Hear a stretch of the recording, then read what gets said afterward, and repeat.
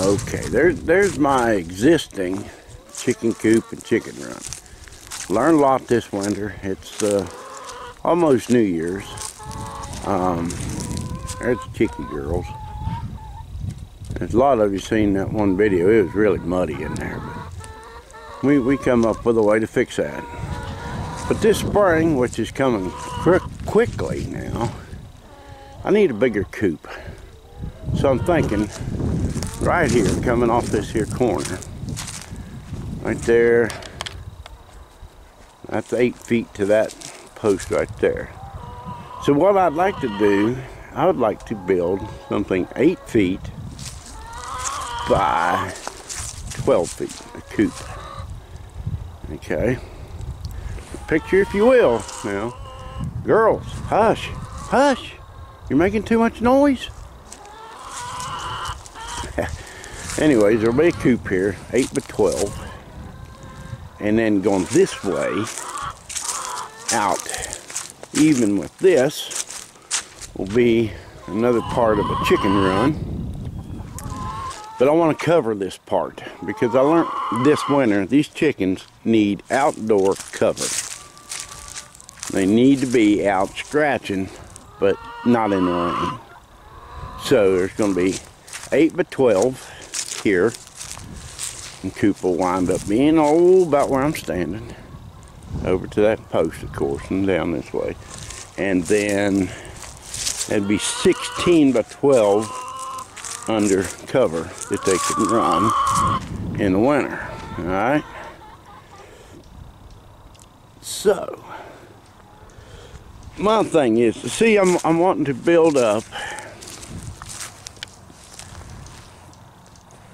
to about 30 chickens. So I can get about 30 dozen plus a month to donate to the uh, food pantry down here in Weston, West Virginia. But this winter's been rough on my girls. But uh, anyways, I'm trying to decide on the design of my new coop. Now me and neighbor Bill, he lives down there in that yellow house. Up behind there, I'm not sure if that's it or not.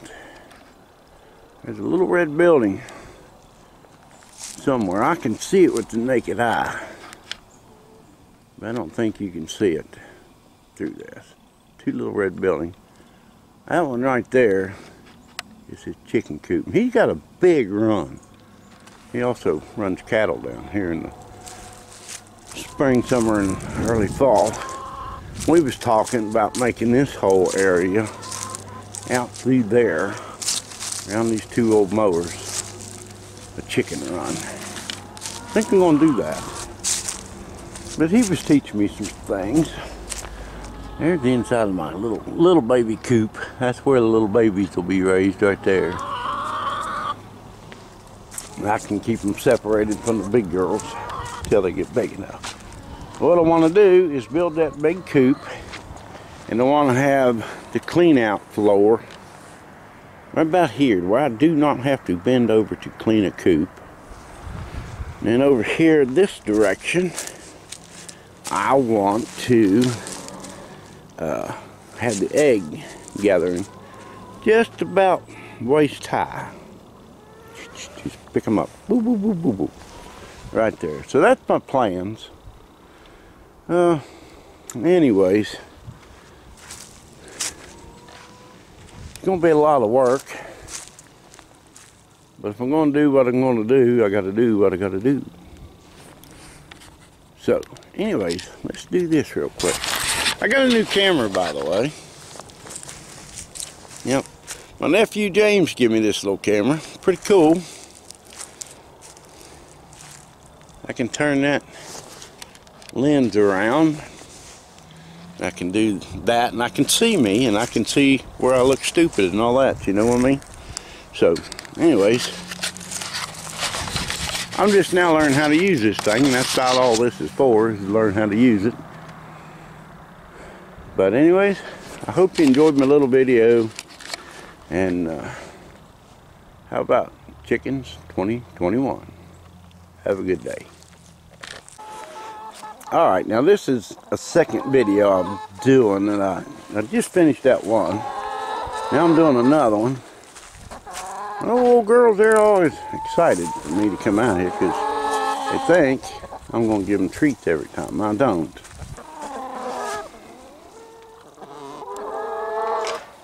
That's treat They're happy little hens.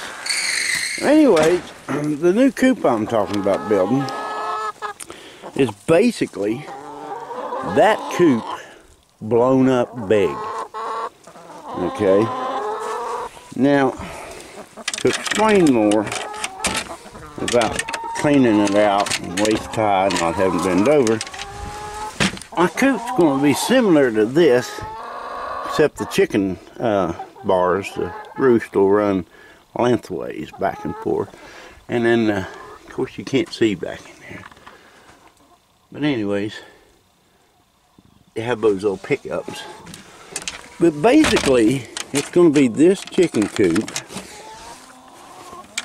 blown up.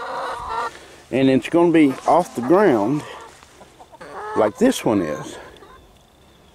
But it's not going to have this little section. It's just going to be that little part right there, 8 by 12. Basically is what it'll be. Oh, little chicken girls, you're just all noisy today. You're happy today. It's kind of pretty, huh? Cold. I doubt if it's 30 degrees, but yeah. Say hi to the folks. Say hi to the folks. You're getting too close. Say hello. Old ladder I had. They like that. They get up on it. Anyways, my big coop's going to look a lot like this, except big. It won't have this side of boxes though. That's going to be under cover. Don't think I'll have them like that. But anyways, this these two videos is me trying to learn how to use this camera and seeing if I can link these two videos up because now I got to learn how to use a camera and an editing program on a computer. We'll see how that turns out. All right, everybody. I don't have my West Virginia CDL shirt on today, but I'll still give them a plug. Check out the West Virginia CDL Citizens Defense League lobbyist group, number one group in West Virginia. We're passing good gun laws, common sense gun laws, and defeating the stupid gun laws that the liberals want passed.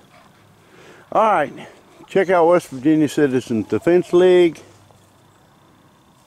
and they're online and Facebook.